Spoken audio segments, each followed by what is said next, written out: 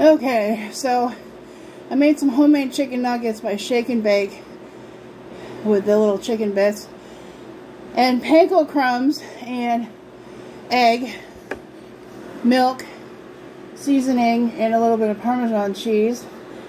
Poured on some sauce. I made that from scratch too. You may see in my other former reels. Added some garlic and onion to the mix and some butter and some salt and pepper, Italian seasoning. So, spread that out a little bit. I'm making a chicken zucchini parmesan. Alright, it's good. Yeah, I don't have in the way of much cheese, so I'm using freshly grated Asiago because it's all I've got left.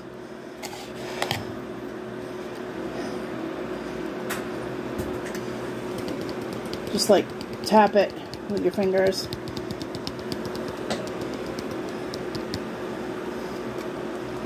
Alright.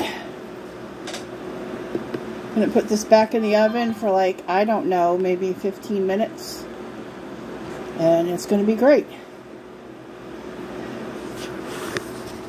Have chicken, breaded zucchini up in here. Delicious. Mmm. Bellissimo.